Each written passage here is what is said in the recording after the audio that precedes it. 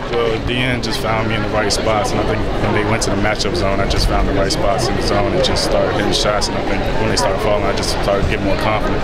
Uh, I feel like we did pretty good. You know, they're a great team and uh, they have a great legacy. They were they were much bigger than us, and they, they did a good job on the boards. And definitely it was a challenge, but I think we got better from it and learned a lot. Uh, I think we definitely got people who can put the ball in the basket. We got a lot of shooters on our team. I think the biggest thing we're going to have to uh, do this season is probably work on our defense and rebounding. I think that's what's going to get us to the tournament this year. So we know the shots are going to fall for us. we got a lot of scores, so we're not worried about that. Just doing things on the defensive end. Well, we obviously want a different result, but for a lot of us, this is the biggest stage we've ever played on. So it's a really cool experience to, to be a part of something like this.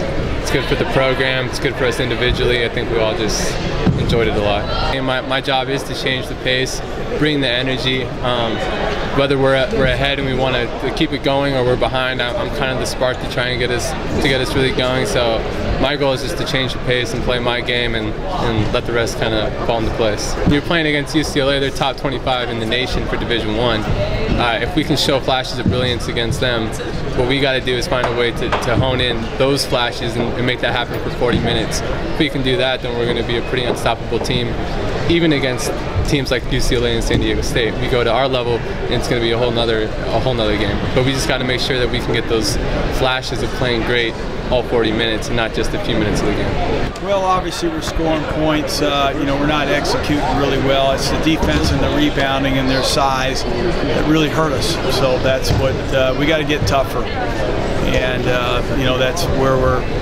you know where we're not there yet. Uh, defense and rebounding and I had a bad game plan. There's certain things that Coach Alford did to bother us, but uh, you know we were close. We had a couple runs to try to cut it, and uh, we could, you know, we cut it to four in the first half, maybe three.